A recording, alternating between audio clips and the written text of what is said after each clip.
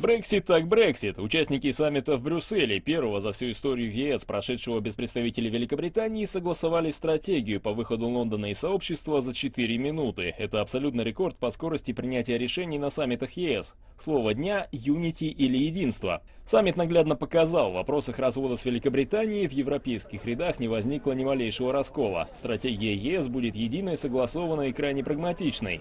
От Лондона потребуют, во-первых, сделать все, чтобы граждане ЕС чувствовали себя на Туманном Альбионе как дома, в том числе и упростить процедуры предоставления вида на жительство.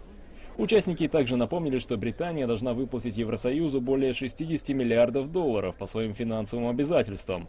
Словом, Терезе Мэй дали понять, что ее стране стоит избавиться от иллюзий о быстрых и легких переговорах по выходу из ЕС.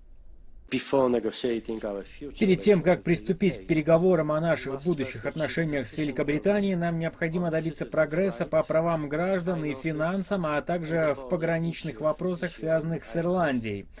Сейчас трудно сказать, когда мы выполним эту задачу. Вместе с тем, решать, удалось ли достигнуть нужного прогресса, будут 27 стран Евросоюза. Восьмистраничный проект рекомендаций, предложенный Дональдом Туском, был представлен государством-членом ЕС еще в марте. На саммите его приняли практически в неизменном виде.